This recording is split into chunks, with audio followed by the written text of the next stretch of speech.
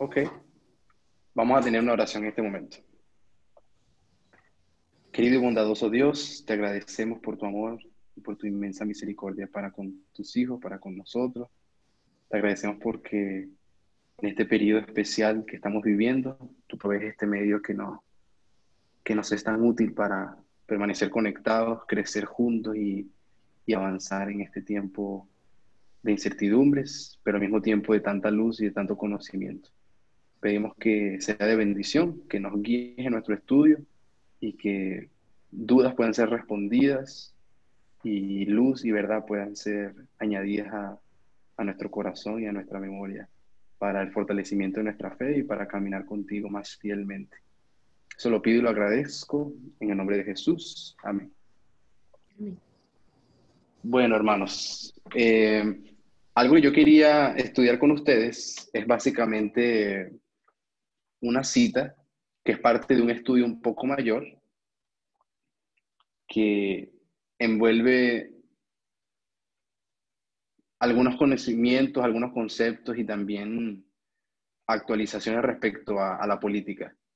Pero, pero como es el, el, estudio más inicial, sería pues pertinente comenzar por una cita del Espíritu Profecía que para mí ha traído muchísima, muchísima luz y creo que continuará haciéndolo. Este, lo que haríamos con la cita es intentar aplicar reglas de interpretación, de lectura, extraer la intención original de ese texto, a la vez que intentamos comprender de qué manera impacta nuestra experiencia hoy. ¿Ok? Entonces, eh, la cita está en el conflicto de los siglos. Déjeme confirmar cuál es la paginación en, en español, pero se encuentra en el capítulo 37, si no, me, si no me equivoco. Ya se las voy a dar. Pero pueden ir viendo sus dispositivos en el conflicto de los siglos, que les doy en un momento la cita. Otra cosa que vamos a hacer es que yo voy a compartir mi, eh, la pantalla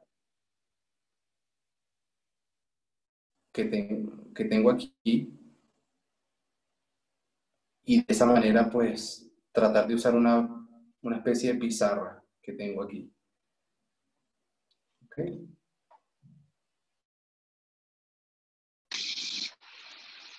Quiero estar seguro que todos me escuchan.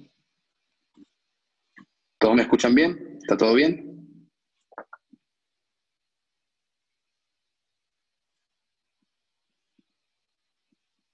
Perfecto.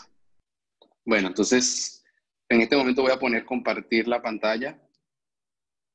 Vamos a leer la cita, vamos a hacer algunas líneas como para entender mejor.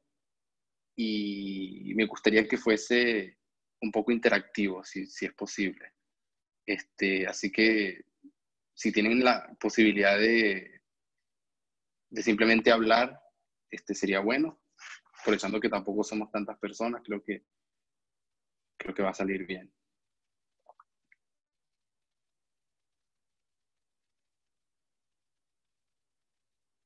Ok. Todo el mundo puede ver mi, aquí la cita del Espíritu de Profecía. En este momento no puedo ver su respuesta, así que tendrían que decirme a alguien que lo consigue ver.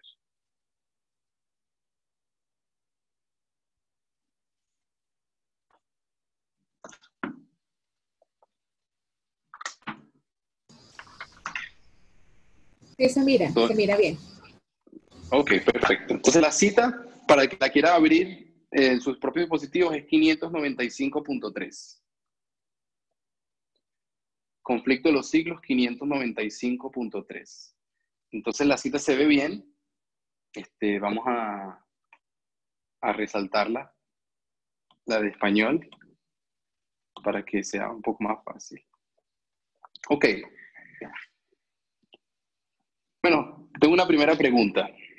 Básicamente yo los he llevado de manera, puede parecer aleatoria, acontece mucho, bien sea que estemos en una iglesia, en un estudio, en una casa con alguien, hablando con cualquier persona, que alguien simplemente nos va a llevar a una cita y posiblemente simplemente la lea, llega, diga las conclusiones que tiene respecto a eso y eh, seguir adelante, ¿no? Eh, pero la manera correcta de hacerlo, por lo menos en nuestro estudio personal, tendría que eso conllevar unas ciertas, unos ciertos parámetros, reglas y pasos para poder abordar un texto antes de poder tener una conclusión en cuanto a qué significa y qué es lo que está queriendo decir o qué significa para nosotros. ¿Alguien tiene alguna idea? ¿Qué sería lo primero que deberíamos hacer con, con la cita?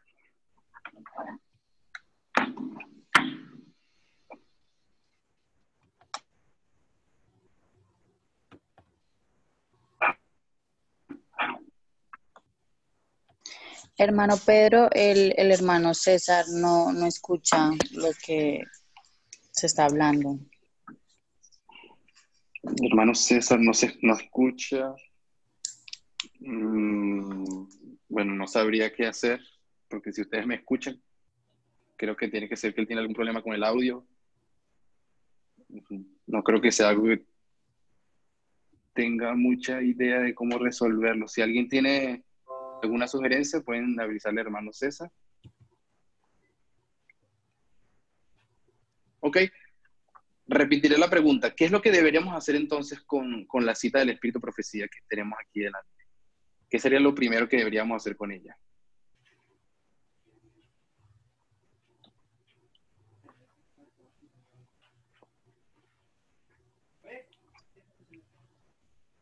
¿Escucho alguna sugerencia? Pero mientras Jesús sigue intercediendo por el hombre en celestial, gobernantes y el pueblo seguirán sintiendo la influencia refrenada del Espíritu Santo, la cual seguirá también dominando, dominando hasta cierto punto.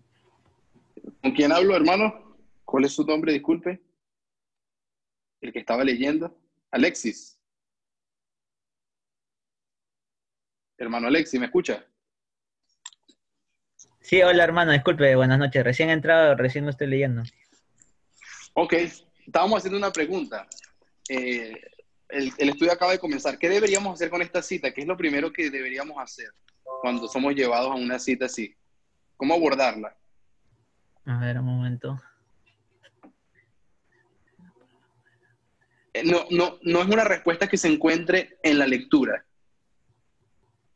La pregunta es, son, fuimos llevados a una cita X, no, no tiene que ser esta, puede ser cualquiera.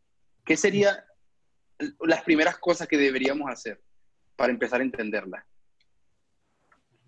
Creo que deberíamos leer el, contexto, en qué época se escribió.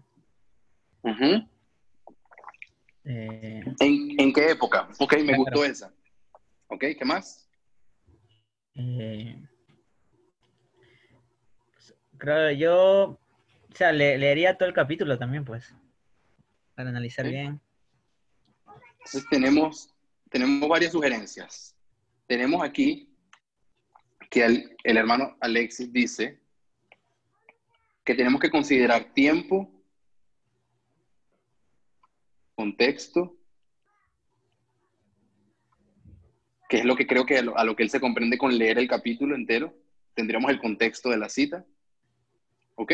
Tenemos dos puntos aquí, válidos y súper importantes. ¿Qué más?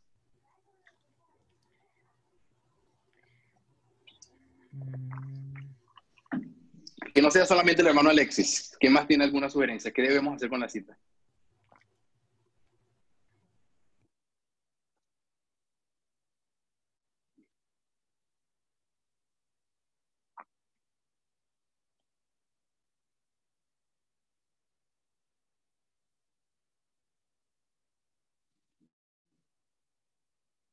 ¿Nadie? Si nadie me contesta, a veces pienso que no está nadie conectado. Nosotros recién pudimos este, ver la, el link, así que recién nos enganchamos y no, no pude leer la cita. Ok, no, no hemos leído la cita todavía. La pregunta es, ¿qué tenemos que hacer con esta cita? Que no, no podría, podría ser otra igualmente. ¿Qué es lo que tenemos que hacer con ella antes de leerla? ¿Qué tenemos que hacer con una cita antes de leerla? primero saber quién la escribió, eh, de dónde salió, de dónde salió esa cita, ver cuán importante puede ser el autor o, origen. claro, si es fiable o no es fiable. Excelente. ¿Qué más? ¿Alguien puede dar cualquier sugerencia, quien quiera? También saber el, año en que se escribió la cita, ¿no? Ok, yo lo incluiré aquí como estando dentro del elemento de tiempo.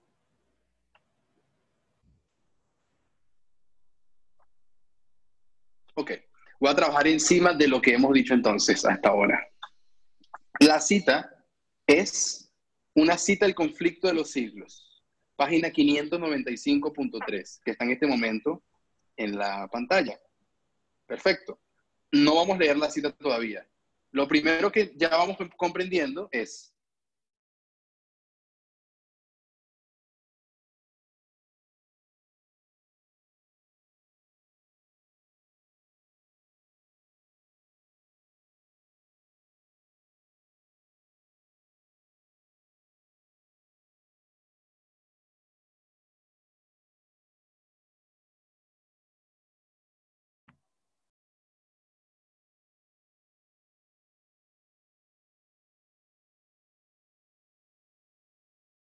¿Se fue el audio? Nosotros no oímos nada. Sí, se fue el audio. Imagino que hay internet por ahí.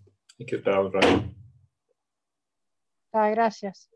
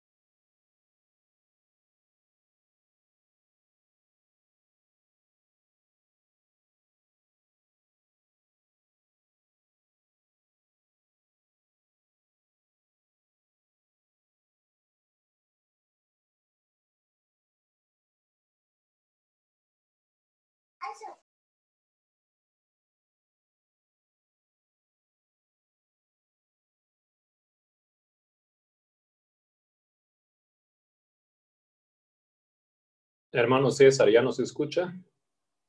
Sí, oigo. Gracias, anciano Marcos, todo bien. Ya oigo. Ok, perfecto. Pero no oigo de Pedro.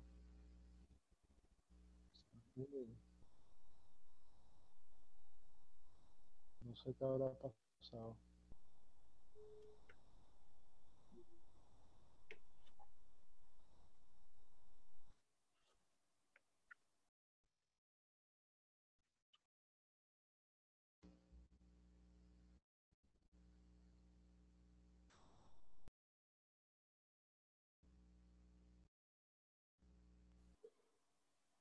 Ya vuelve Pedro, tenía problemas con internet. Ya va a estar de vuelta. Un segundo.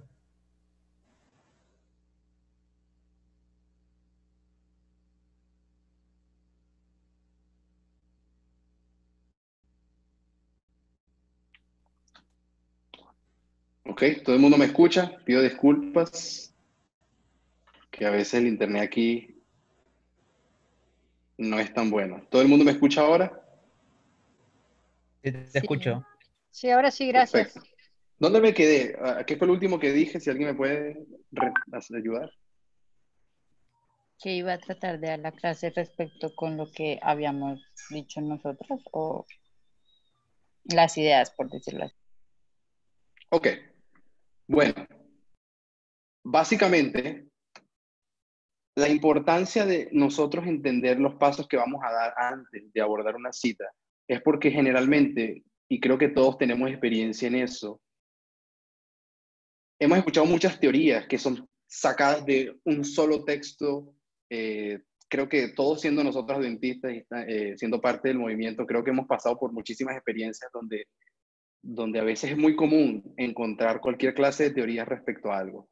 Y nos ahorraríamos muchos contratiempos y muchas interpretaciones este, erróneas si nosotros aplicásemos una cantidad de reglas específicas al abordar un texto. Eso es lo que estamos intentando hacer. Y quería enfatizar de que no son tan complicadas como a veces se parece. Puede, pueden haber otras que sean un poco más complejas, pero de hecho las principales y las más básicas, ellas no son complicadas. Y ellas, tan simples como son, también nos llevan a conclusiones simples que a veces simplemente eh, las personas no, a veces no consideramos. Y eso nos ahorra bastantes, bastantes problemas. Entonces vamos a comenzar de nuevo. Vamos a ir para nuestra, la pizarra que estábamos teniendo. Y, yo quiero hacer todo esto antes de, leer la cita. ¿Está bien? Así que les pido paciencia. Habíamos dicho que comprendemos quién es el, autor, entendemos cuál es el libro. La siguiente pregunta es, ¿qué, debería, ¿qué es lo siguiente que nosotros deberíamos saber? Después de entender de qué libro estamos hablando. ¿A quién lo escribió? ¿A quién se lo escribió? ¿A quién se lo escribió? ¿A quién se lo escribió? Muy buena. Estoy esperando una que es un el resultado lógico después de saber de qué libro sería qué? El tema. El tema. Claro. Yo voy a entender qué tema significa título. Título del capítulo, ¿cierto?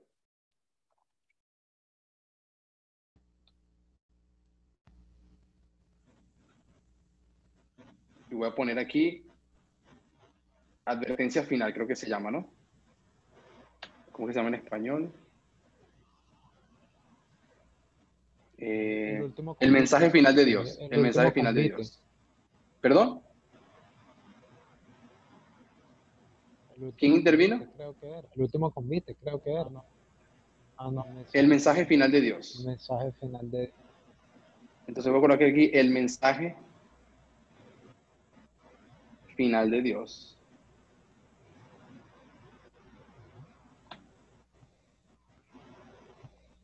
Solo para que sepan, en inglés se llama diferente, pero es una diferencia bastante pequeña.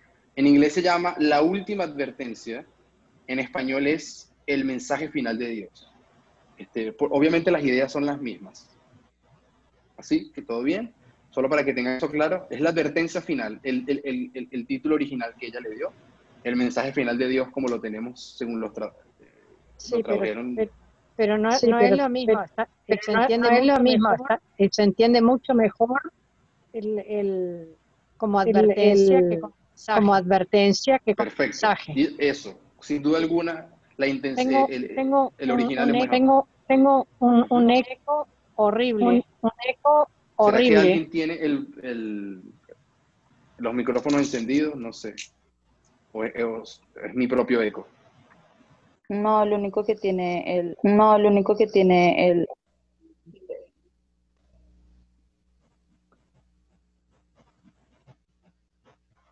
de prevención de señales, dos teléfonos de prevención de señales, dos teléfonos cerca. Puede ser. Que,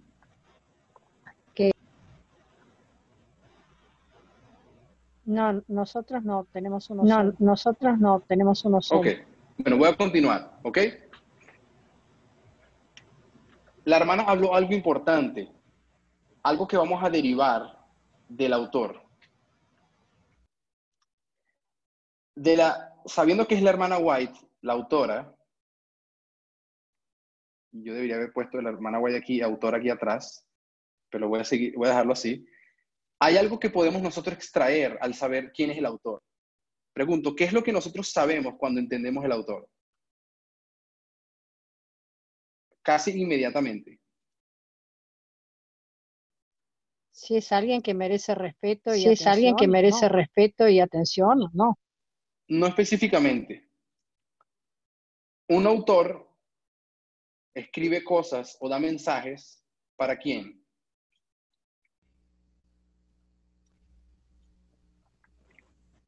Una audiencia. Para, una, audiencia. Entonces voy a colocar aquí audiencia. La audiencia es un punto importantísimo al tomar en cuenta. Cuando leamos lo que sea, cuando nosotros leemos a Pablo, cuando leemos a Jeremías, cuando leemos cualquier otro, otro profeta, tenemos que comprender a quién el profeta le está hablando. Porque muchas veces nosotros no entendemos a quién el profeta le está hablando. Y cuando no comprendemos a quién le habla el profeta, nosotros podemos llegar a pensar que el profeta nos está hablando a nosotros. ¿Ok? Todo el mundo, espero que puedan este, entender esa idea. Entonces, la audiencia, voy a colocar aquí, la iglesia adventista del séptimo día. Esa es la audiencia. Algo que sabemos inmediatamente o deberíamos entender cuando sabemos de qué libro estamos sacando la fuente o el texto que estamos leyendo, ¿qué puede salir del libro? ¿Qué información sabemos al saber el libro? Lo voy a resaltar por aquí. ¿Cuál es el tema general? ¿Cuál es Eso, el tema, general? Está representado en el libro, así que voy a decir que salen dos cosas. La que yo quería resaltar era, sabemos el tiempo, porque al saber el libro sabemos cuándo fue escrito. Yo voy a colocar el año en que se escribió la primera edición del conflicto de los siglos. Pero obviamente con el título del libro entendemos que hay un tema general. No voy a colocar tema general, voy a colocar la grande controversia o el gran conflicto.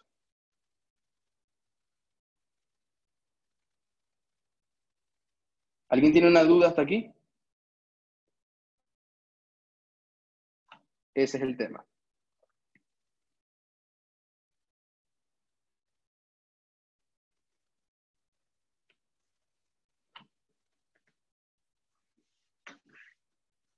¿Ok? ¿Nadie más tiene ninguna duda? Recuerden responderme porque no sé si se me desconectó o todo está bien. Estamos bien. Está todo claro, gracias. Estamos bien. Perfecto. Está todo claro, gracias. Este, hay otra cosa importante que yo creo que podemos sacar del título. Pero eso es algo que lo podemos obtener después de que comprendemos la estructura del conflicto de los siglos. Cuando ya hemos identificado al autor, la audiencia a quien le habla el autor, el tiempo en el que el autor está hablando, tenemos que comprender que la hermana White está hablando para el año 1888. La hermana White no está hablando para el año 2020. Está hablando para el año 1888 y los años subsiguientes al contexto de ese momento. Eh, hay algo que nosotros sabemos también con el título.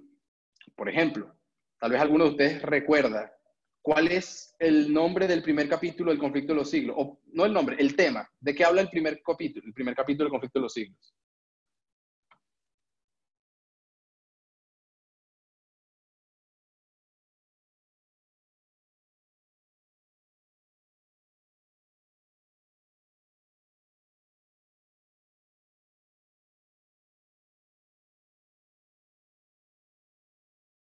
El destino del mundo predicho.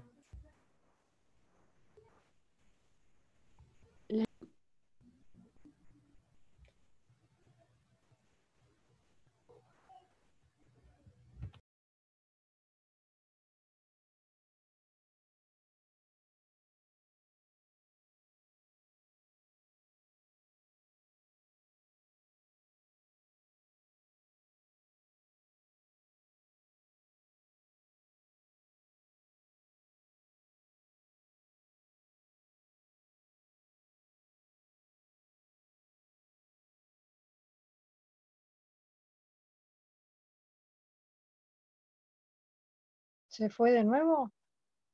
Sí, otra vez el hermano está teniendo problemas con el audio. Gracias.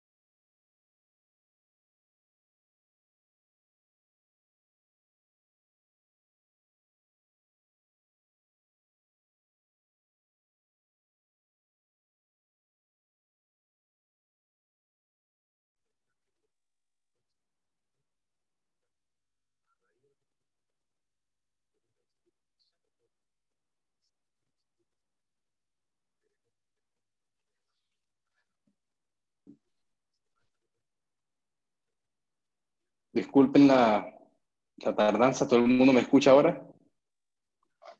Sí, hermano, ya lo escuchamos. Sí, gracias.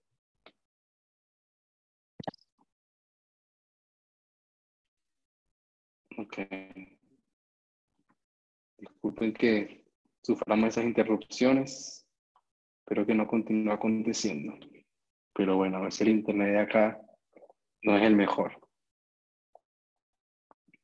Vamos a, vamos a continuar donde estábamos. Yo pregunté, yo estaba diciendo que el capítulo va a darnos una información importante que debemos tomar en cuenta.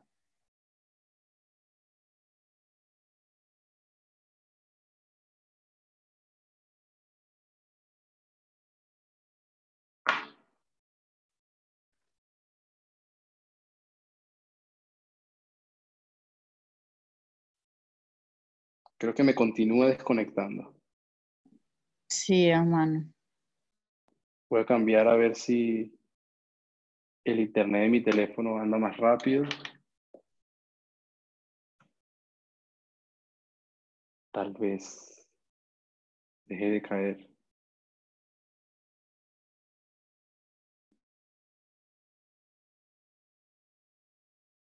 He conectado el internet de mi celular. ¿Todo el mundo me escucha ahora?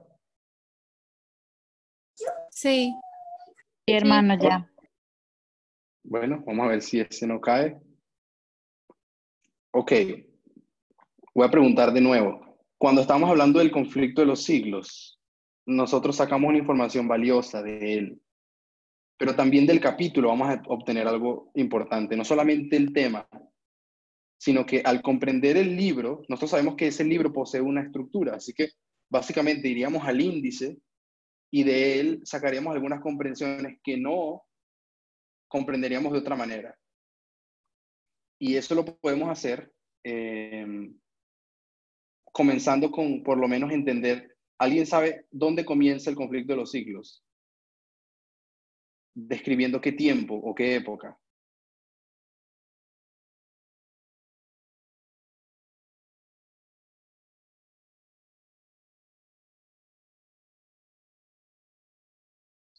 Yo no me acuerdo bien, pero creo no me que acuerdo es bien, este, pero creo que es cuando, cuando surge el, el mal en cuando, el cielo. no, cuando surge el, el mal en el cielo. ¿Alguna otra sugerencia?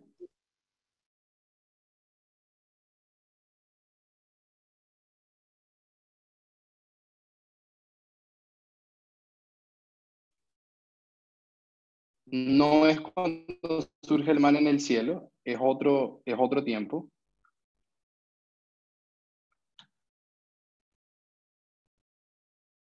Es decir, lo que tenemos que hacer básicamente es practicar algo que practicamos a veces creo que muy poco. Vamos simplemente al texto. Todo el mundo está viendo mi pantalla en este momento, la cita, en verde. No, estamos viendo, ahora sí. No, estamos viendo. Voy a sí. en el índice y me va a llevar completamente a ver todos los capítulos. Voy al capítulo 1. ¿Cómo se ve aquí? ¿Quién es? ¿Quién es? ¿Se ve bien? Sí, Alguien que pueda leer el primer capítulo para yo Sí. confirmar que todo está bien. ¿Cómo dice? el primer destino título. del mundo predicho. El destino Ok. del mundo predicho. No vamos a hablar ahora de la diferencia en inglés y español o cuándo las hay o cuándo no las hay, pero el destino del mundo predicho es un tema de la hermana White que nos ubica en qué año? En el año 70. Ella habla de más cosas, habla un poco del año 66, de hecho comienza hablando de la, eh, eh, de la entrada triunfal de Jesús y, cómo él vio el destino de Jerusalén, etc. Pero el tema general, el tema principal de primer capítulo es la destrucción de Jerusalén en el, en el año 70. Entonces nosotros volvemos a nuestro libro, vamos al último capítulo, donde dice el fin del conflicto, pero tal vez no nos da muchas pistas de qué tiempo es ese. Después dice la desolación de la tierra. Este, sabemos que el fin del conflicto es el juicio final al final de los mil años. Sabemos que la deso- desolación de la tierra es el periodo del milenio. Y la liberación del pueblo de Dios es simplemente otra palabra o otra frase para describir segunda venida de Cristo. Entonces, bueno, basados en los últimos tres capítulos, específicamente el 41, poniendo algo de manera general, sabemos que el conflicto de los siglos va de la destrucción de Jerusalén a la segunda venida de Cristo. ¿Todo el mundo concuerda conmigo hasta aquí? Sí. Perfecto. Ese sería nuestro marco de trabajo. Dentro de estos dos puntos, el conflicto de los siglos va, va a darnos un mensaje. Cuando nosotros vamos al capítulo 39, que es donde nosotros nos encontrábamos, el mensaje final de Dios, en la página 595, nosotros habremos tenido que haber hecho primeramente un rastreo, ver cuáles eran los capítulos anteriores, qué historia la hermana White acababa de describir y cuál, y, cuál es la historia subsiguiente. En fin, ella va a comenzar con el año 70, ella va, va, a hablar de la iglesia primitiva, va a hablar del periodo de persecución pagana, pero luego va a hablar del ascenso del papado, de cómo se unió la iglesia con el Estado, y toda la historia va a continuar hasta un momento o un punto en la historia principal o muy frecuente, muy hablado por la hermana White, que nosotros la vamos a llamar el tiempo del fin.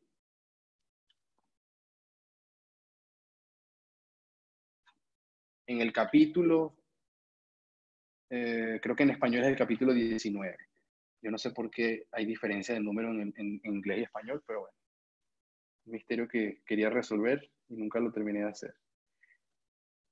El tiempo del fin sabemos que es 1798. Y sabemos que ella está escribiendo el libro, y lo voy a colocar en otro color. Imaginariamente vamos a ponerlo, no sé, aquí. Aquí está 1888. Aquí está la hermana White. Ella escribe el libro en ese punto. Es decir, ella escribe el libro dentro del periodo de la gran controversia, desde el año 70 a la segunda venida de Cristo. Pero no solo eso, sabemos que podemos tomar el punto de referencia de 1798, el comienzo del movimiento adventista. Ella escribe el libro en 1888. Lo que yo quiero sugerirles, lo que yo quiero que ustedes vean, es que la hermana White tuvo que haber escrito el libro de la siguiente manera. Eh, quiero confirmar más una vez si todo el mundo me escucha antes de decir lo siguiente. Sí, hermano. Perfecto. Sí, hermano. Si ella escribió la historia de la gran controversia del año 70 a la segunda venida de Cristo y ella se encuentra en el medio, yo pregunto, ¿será que en algún momento la hermana White tiene que describir su tiempo o experiencia presentes?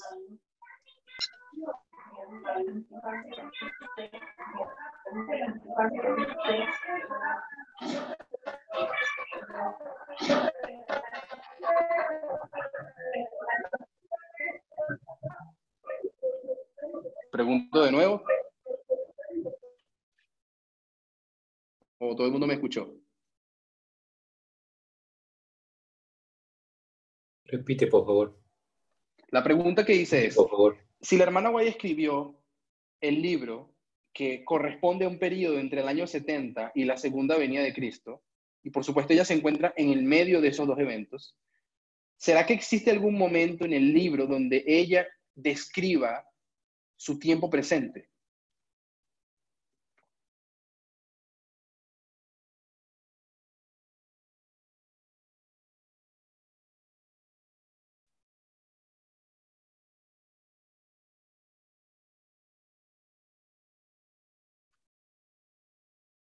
¿Alguien? ¿O se me cayó la señal? Por mi parte, no se la respuesta. Por mi parte, no se la respuesta. Ok, vamos a verlo así. Por ejemplo, ella escribe el libro en 1888. Voy al índice un momento. Piso aquí el mensaje final de Dios, voy un poco para atrás. Déjenme ir a este capítulo aquí. El primero que está arriba, que dice una profecía significativa. ¿Todo el mundo lo ve? Capítulo 19. En el capítulo 19, la hermana White, no voy a entrar porque acá tenemos mucho tiempo, pero la hermana White va a describir 1798 y los eventos subsiguientes a 1798, específicamente la experiencia de Miller, de cómo él comenzó a estudiar las escrituras. Todo el mundo está bien con eso, todo el mundo comprende ese punto.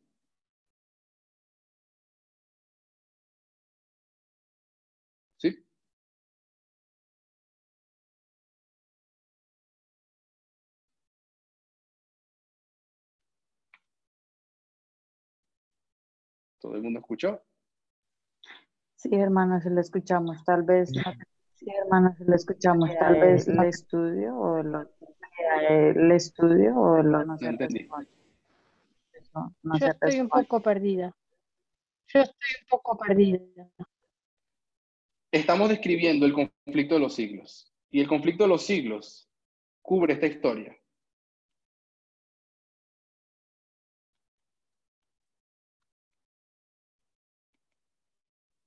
Toda esta historia, desde el año 70 hasta la segunda venida de Cristo. Por lo tanto, la hermana White, en un periodo específico, ella tuvo que haber escrito el libro, y sabemos que obviamente lo escribió. Y yo coloqué aquí arriba que ella escribió el libro en el año 1888.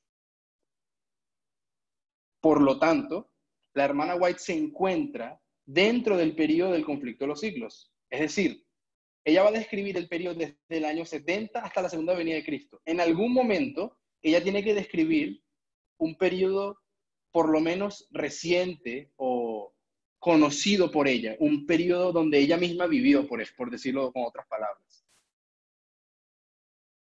¿Hasta aquí me entendieron? Sí.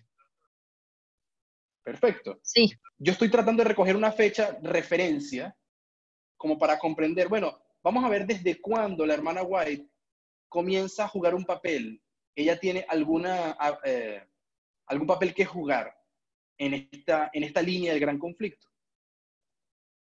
Entonces, la, la fecha referencia que yo quiero empezar a tomar es 1798, porque en 1798 van a ser el movimiento adventista. Movimiento adventista al cual la hermana White, más adelante, se va a unir y va a ser parte del mismo y va a sufrir el chasco con los mileritas.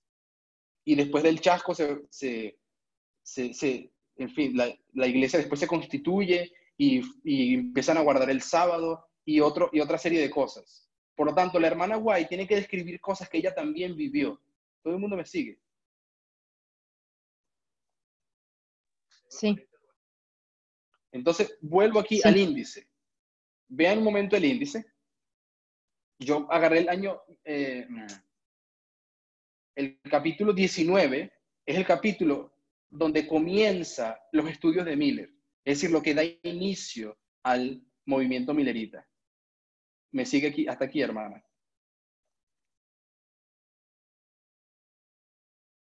Sí. Perfecto. Ahora, si yo voy un poco para atrás y agarro el capítulo 16, dice la Biblia y la Revolución Francesa. Bueno, está hablando de un periodo en que en Francia se persiguió a la religión en todas sus formas y a la Biblia también. Y ella va a hablar de ese capítulo. Yo pregunto, ¿la hermana White estaba viva en ese periodo de la Revolución Francesa?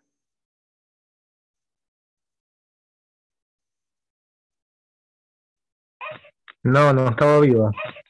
No, no estaba vivo. La hermana White no vivió el periodo de la Revolución Francesa. La Revolución Francesa aconteció unos 40 años antes de que ella naciera. Perfecto. Pero si yo voy avanzando un poco más adelante, aquí dice una profecía significativa. Ya les dije que ese, ese capítulo habla de la historia de Miller. Cuando llego a Luz a través de las tinieblas, ella continúa describiendo el movimiento millerita. Un gran despertar religioso también es eh, parte del movimiento millerita una amonestación rechazada es también parte del movimiento milerita y profecías cumplidas es también parte del movimiento milerita. De hecho, el capítulo 23 habla del chasco. ¿Hasta aquí me entendieron? Capítulo 23 es el chasco. Sí, sí. Perfecto. Entonces yo puedo ir aquí y todos podrían decirme al unísono, ¿en qué año aconteció el chasco? 2844. Del 2844. Voy a colocar solamente el año. Muy bien. Quiero que vean en la línea que estamos haciendo cómo el capítulo, voy a colocar los números de los capítulos aquí en azul. Este es el capítulo 19, el tiempo del fin. 1844 eh, era el capítulo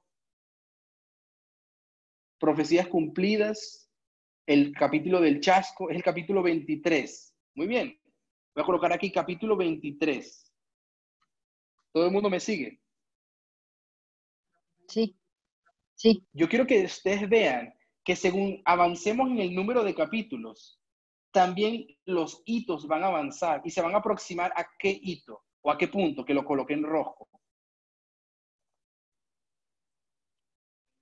Al momento en que ella, escribe. Exactamente. Lo interesante de ella, de los, libros donde ella describe este tipo de historias, por ejemplo, en Patriarcas y Profetas, ella nunca va a llegar a describir un tiempo presente, porque ya está describiendo y hablando de historias muy antiguas. Pero el conflicto de los siglos tiene, tiene una variación especial, que en algún punto, en algún momento, en su descripción de los eventos que llevan a la segunda venida, ella tiene que pasar obligatoriamente por un tiempo presente, el tiempo presente de ella. Eso sí, lo, eso sí me consiguen entender, ¿cierto? Sí, sí. Sí, sí. Perfecto. Entonces, ya en el capítulo 23 nos hemos aproximado bastante a 1888. Nosotros deberíamos esperar que dentro de las descripciones que están en el conflicto de los siglos acontezca en algún momento, ella tiene que describir cosas que estaban aconteciendo en el tiempo de ella, literalmente. Y eso es fundamental de, de, entender. Por ejemplo, cuando estamos leyendo el capítulo 23, sabemos que ella está hablando de una experiencia que vivió pero la está describiendo en pasado, porque eso aconteció como 40 años antes del momento en que escribió el conflicto de los siglos. Cuando leamos el capítulo de la segunda venida, sabemos que ya está hablando de un momento futuro. Ella no vivió la segunda venida, y eso lo sabemos. Si yo coloco aquí otro hito, eh, el, el cierre del tiempo de gracia, voy a ponerlo CTG, supongo, el cierre del tiempo de gracia, ella tampoco experimentó. Así que eso queda en el futuro. Y yo voy a sugerir que hay otros eventos que quedan también en el futuro que estaban muy próximos al tiempo de ella. O ella va a describir eventos del pasado que estaban próximos al tiempo de ella. Es decir, un evento que aconteció después del 44, pero antes del 88. Ese tipo de, ese tipo de conciencia tenemos que estar conscientes de este tipo de, de, de conceptos cuando estamos leyendo el, eh, una cita, cuando vamos a investigar, cuando, cuando, vamos a hacer un estudio, cuando estamos viendo el conflicto de los siglos. Yo espero que no parezca complicado lo que estoy queriendo decir, porque eh, una vez que tenemos una información general del libro, comprendemos cuándo ella lo escribió y qué, y qué eventos acontecieron antes y después, la mente se acostumbra y de manera automática nos, eh, aprenderemos a ubicarnos al simplemente era un índice y saber, ok, esta cita la estoy sacando del capítulo tal, así que más o menos yo sé que me encuentro en este periodo de tiempo. Aunque todavía no esté todo tan claro, ¿me siguen la lógica hasta aquí? Sí, hermano. Sí, perfecto. Sí, hermano. Sí, perfecto. Entonces, las profecías cumplidas es el año 1844, capítulo 23. El templo de Dios. ¿Qué les parece ese capítulo? describe cuando ellos descubren que Jesús estaba de hecho intercediendo en el santuario del cielo. ¿Qué año es eso?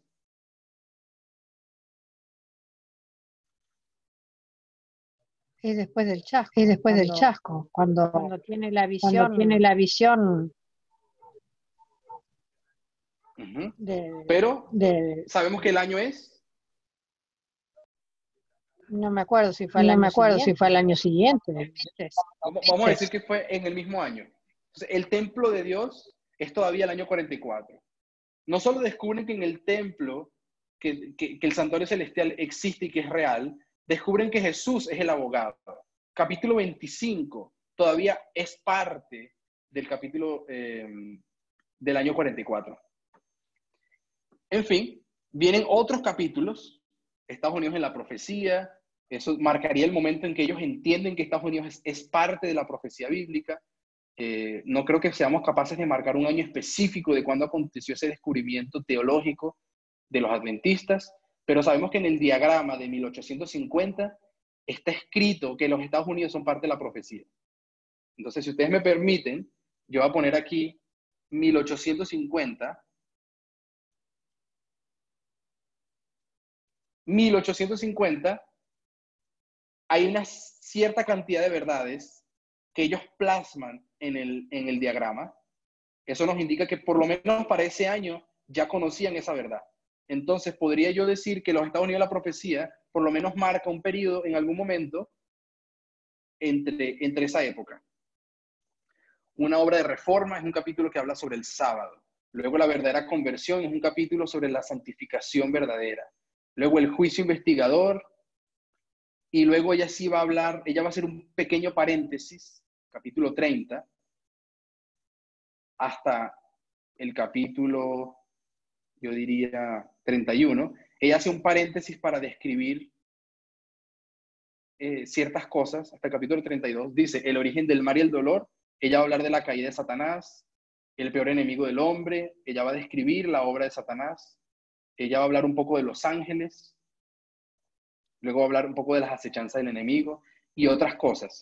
Ok, aquí es donde el tema se hace más interesante y requiere más escudriñamiento. Pero quiero que sepan que en algún momento, sea el capítulo 33, sea el capítulo 34, 35, o 36, la libertad de conciencia amenazada, 37, el conflicto inminente, ella tiene que estar describiendo alguna experiencia que quede o muy cercana al periodo en que ella escribió el libro, o describiendo incluso el tiempo en el que ella está viviendo. ¿Alguien me comprende lo que digo?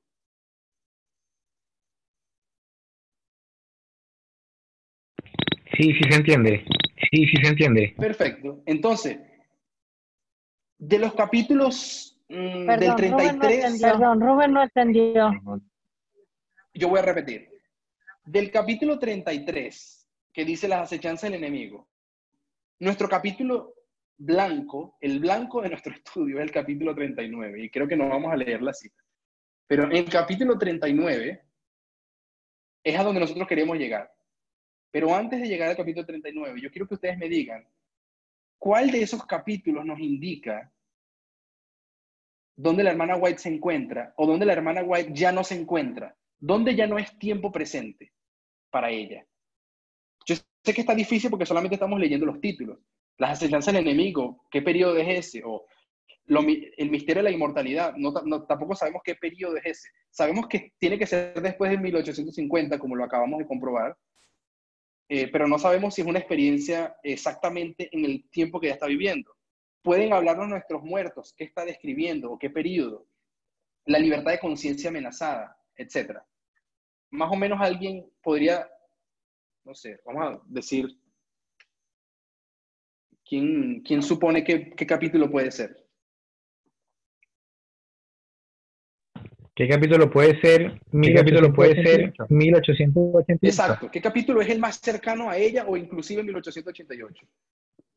La libertad de conciencia amenazada. La libertad de conciencia amenazada. Ok. Esa, esa es la sugerencia de Kelvin. ¿Alguien tiene otra sugerencia?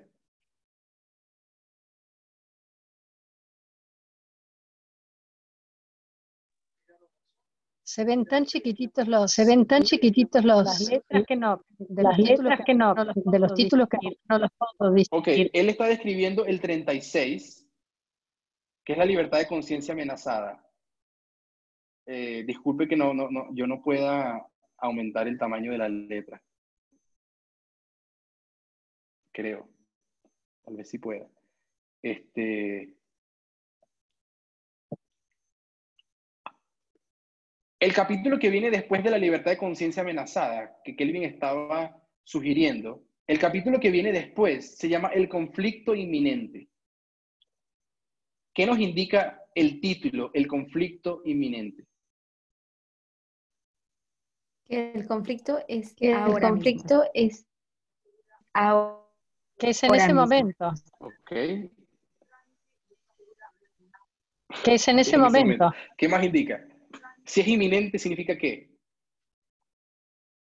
Que va a pasar sí o sí. y que es en ese momento. Que va a pasar sí o sí. Okay. Alguien dice que... Y que es en ese momento. dos sugerencias. Dos personas han dicho que inminente significa que es en, en ese momento exacto. Y otra persona indica que lo único que denota la palabra inminente es que va a pasar y no hay cómo evitarlo. ¿Qué tenemos que hacer? ¿Qué tenemos que hacer para resolver eso? Ver, ver, el significado de inminente. Ver, el Exactamente. significado de inminente. Yo lo busqué aquí y dice, inminente, que está a punto de suceder o que está muy próximo en el tiempo. Un peligro inminente. Su llegada es inminente. Etcétera, etcétera, etcétera. ¿Qué les parece?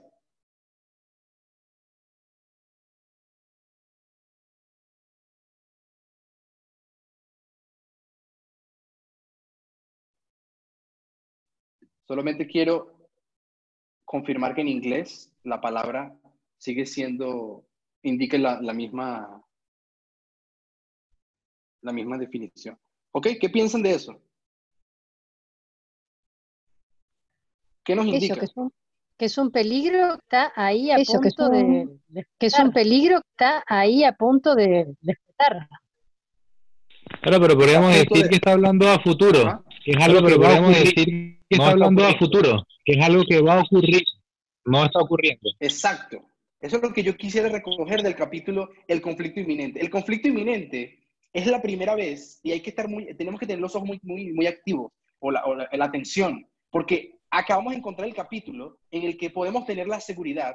La hermana White, en el capítulo 37, el conflicto inminente, ella está describiendo algo que no está aconteciendo todavía en su tiempo. Así que lo que acabamos de descubrir, hermanos, es esto. Voy a tratar de hacer una ilustración aquí. Ella está describiendo el libro, toda esta línea, ella acaba de pasar por encima de ella, describiendo algo futuro. ¿Alguien entiende eso? ¿Todo el mundo lo puede ver? Sí. Entonces yo voy a colocar aquí. Sí. ¿Qué capítulo era? Capítulo 37.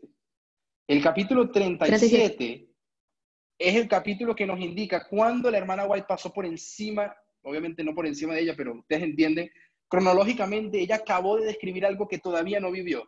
Así que en algún momento, antes del 37, ella estaba describiendo una experiencia presente. Bien sea la libertad de conciencia amenazada, etcétera, etcétera, etcétera. Claro, es mucho más simple y espero que no parezca complejo para ustedes. Obviamente, las acechanzas del enemigo son una experiencia presente para ella siempre. El enemigo siempre acecha. El misterio de la inmortalidad no es específicamente un periodo, es simplemente la verdad de que Satanás usa a los muertos para engañar. Eh, obviamente no, tiene que denotar una fecha en específico, pero sí es importante descubrir que esas verdades son presentes para ella, pero que el conflicto inminente, si bien ella comprende cuál es el conflicto inminente, ella todavía no lo ha vivido. Así que tenemos la seguridad de que ella va a describir algo que no aconteció, pero inminente significa que está muy próximo. Em, yo quisiera, sin probarlo, ustedes pueden leer el libro de, 1888 por ustedes mismos. Eh, hay varios libros en español respecto a ese año, que es el año del conflicto de los siglos. Hay libros que describen el año 1888 y qué, y qué cosas acontecieron en ese año. Muchísimas cosas acontecieron en ese año. Y una de ellas, una de las más importantes, es el hecho de que las iglesias en los Estados Unidos habían habían dado un proyecto de ley formal, era algo real, que lo llevaron a la Cámara Legislativa para hacer del domingo un día obligatorio, con la excusa de declarar que los Estados Unidos era un país cristiano, un país eh, entregado y eh, consagrado a Dios, etcétera, etcétera, etcétera. Esa es la libertad de conciencia amenazada. Yo voy a sugerirles a ustedes, a la cual la hermana Guay está hablando. Obviamente, ella va a defender su punto de la libertad, de libertad de conciencia amenazada con versos bíblicos, va a explicar acerca de la bestia, va a explicar acerca del papado, va a explicar acerca de cómo los protestantes van a hacer ciertas cosas, etcétera, etcétera. Pero ella está describiendo la libertad de conciencia amenazada no simplemente como una verdad teológica que los adventistas conocen. Si algún día se va a unir la iglesia y el Estado y van a amenazar la conciencia de las personas. Ella de hecho está describiendo, cuando ella está escribiendo el capítulo La libertad de conciencia amenazada, ella está escribiendo eso en el mismísimo año cuando uno de los miembros de la iglesia adventista tuvo que ir al Congreso para defender la conciencia de las personas y frenar el decreto dominical que querían pasar. Todo el mundo entiende el punto que acabo de hacer. Sí. Entonces, en esa perspectiva, nosotros deberíamos observar el conflicto de los siglos. Ella no solo, ella cuando dice la libertad de conciencia amenazada, ella no está hablando de un día, este, sin, eh, en fin, que queda muy lejos en el futuro. Al estudiar el contexto, al estudiar el año en que fue escrito el conflicto de los siglos, al estudiar, al abordar un texto de una manera correcta, nosotros sabemos que ella no está describiendo una experiencia futura. La, libertad de conciencia amenazada en el año 88, cuando ella escribió el libro, era una amenaza real. En el Congreso había unas personas literalmente discutiendo el tema para ver si era plausible o no pasar un decreto dominical. Y por la obra de Dios, usando a, un siervo y por otras razones que Dios haya tenido, ese decreto dominical no pudo ser pasado. Pero era para ser pasado. Sabemos que acontecieron otras cosas. El pueblo de Dios no estaba preparado, rechazaron el mensaje de aquel momento, rechazaron el mensaje de la lluvia tardía, que es como ella, que es como ella lo describe, o como el ángel le describe años después, que en el año 88 rechazaron la lluvia tardía y otras cosas. Si el pueblo de Dios, hermanos, hubiese recibido la lluvia tardía como el ángel le dijo a ella que era para recibir en el año 88, en la conferencia de Minneapolis, quiero que sepan que todo el contexto, que ella está describiendo cuando ella dice, escuchen, la libertad de conciencia está siendo amenazada, capítulo 36, el conflicto es inminente, era literalmente así. ella no está describiendo algo muy lejano en el futuro, está describiendo algo que estaban viviendo en ese tiempo. Las iglesias protestantes habían eh, estrechado su mano con el Estado para intentar pasar decretos dominicales y no se pudo.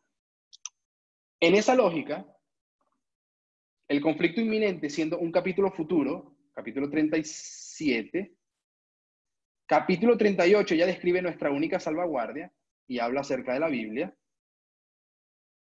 Voy a saltarme el capítulo 38 y voy simplemente a poner aquí el capítulo que a nosotros nos interesa, o el del cual queríamos leer la cita, que no leeremos ahora, el capítulo 39. En el capítulo 39 sabemos que ya va a describir algo que estaba a punto de acontecer en el futuro. Ella lo llama, como lo habíamos puesto acá, el mensaje final de Dios, o como dice literalmente en el inglés, la última advertencia. ¿A qué les parece a ustedes la última advertencia? qué, qué, parece que nos indica? ¿Qué significa la última advertencia? ¿Qué hito es esa en la línea?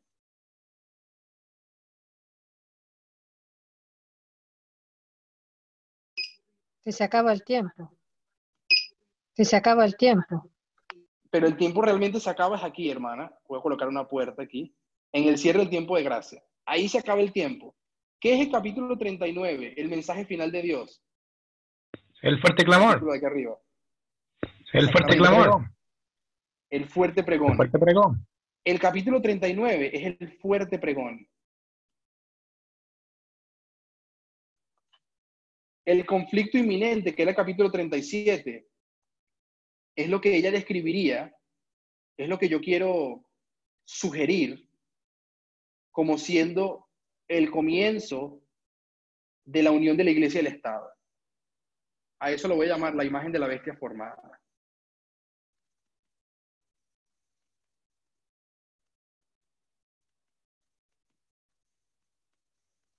O simplemente ley dominical.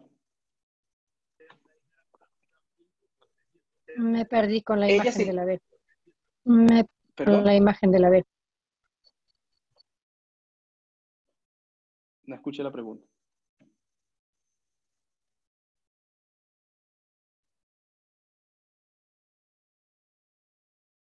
Ok. ¿Alguien me escucha? ¿Puedo seguir?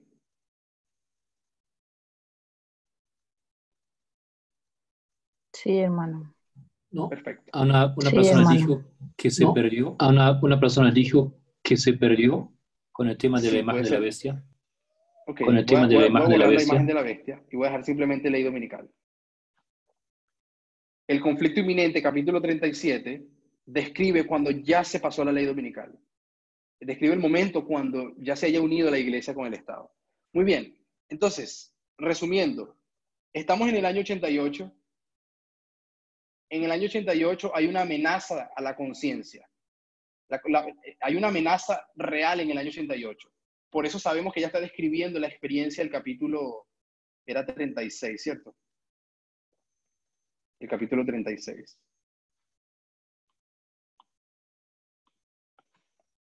Este es el capítulo 36. Y la hermana White se encuentra justo ahí. Voy a colocar una figurita así para comprender que este es el momento presente para la hermana White, el año 68. La amenaza a la conciencia es real porque está intentando pasarse un decreto dominical en ese año.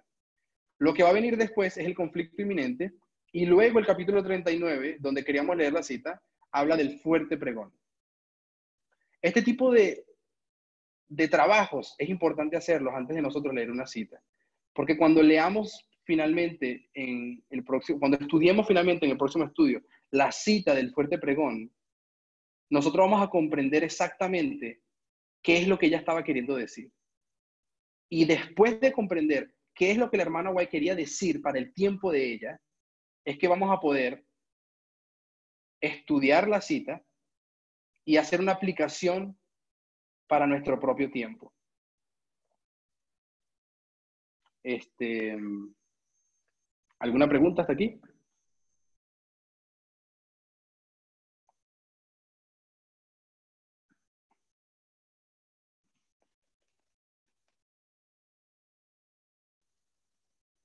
Voy a, hacer una, vamos a leer solamente la cita sin explicar ningún detalle.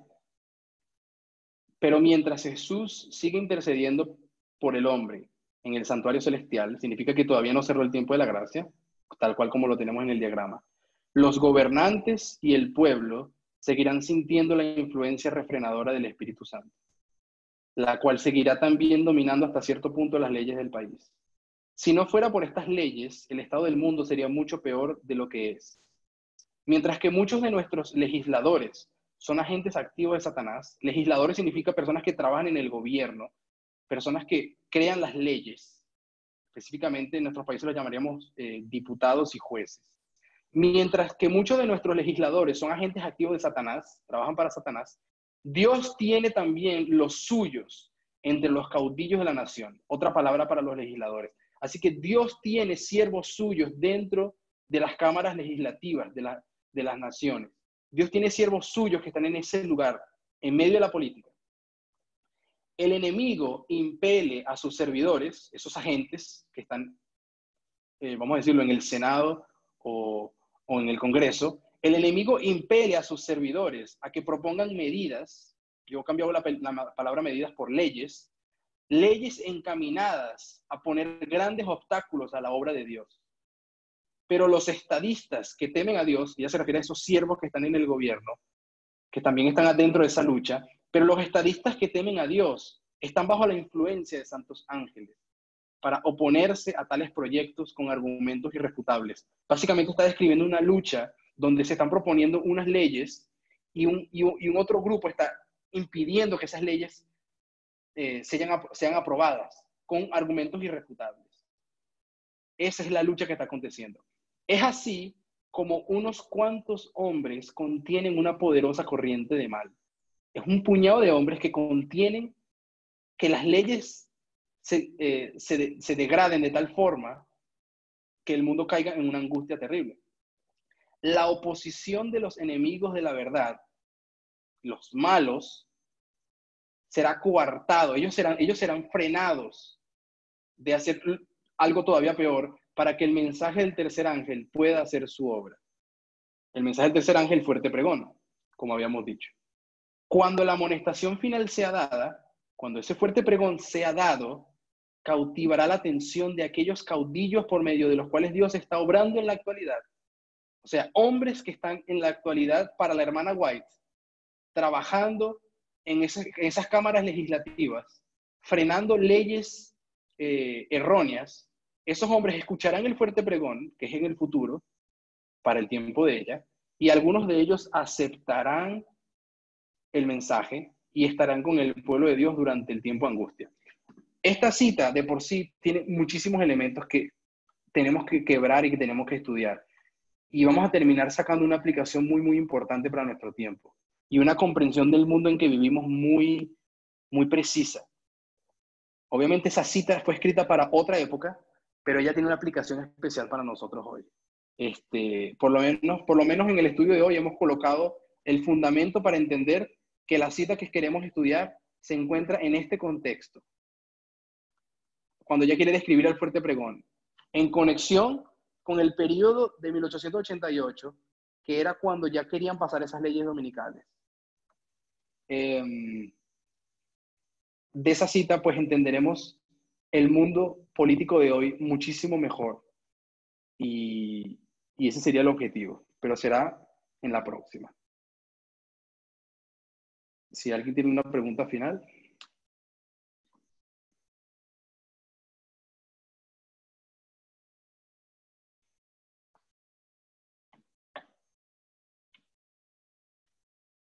Tal vez podrías hacer una conclusión. Ok. La conclusión sería que en el libro El conflicto de los siglos tenemos una descripción de la gran controversia desde la destrucción de Jerusalén hasta hoy. Dentro de ese periodo, la hermana White describe un tiempo en el que ella misma experimentó y vivió.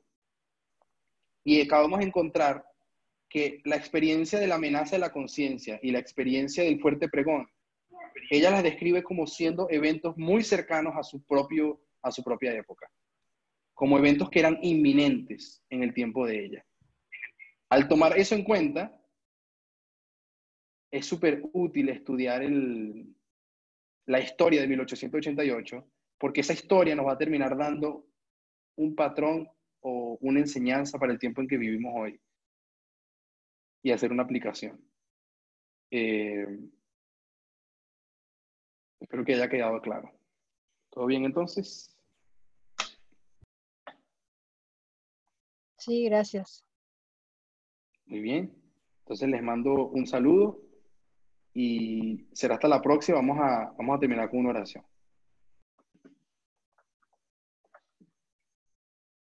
Querido bondadoso Dios, te agradecemos por el estudio que hoy pudimos tener, por el tiempo que pudimos pasar juntos, por la comprensión de, de estas verdades espirituales que están escondidas debajo de la superficie tu palabra.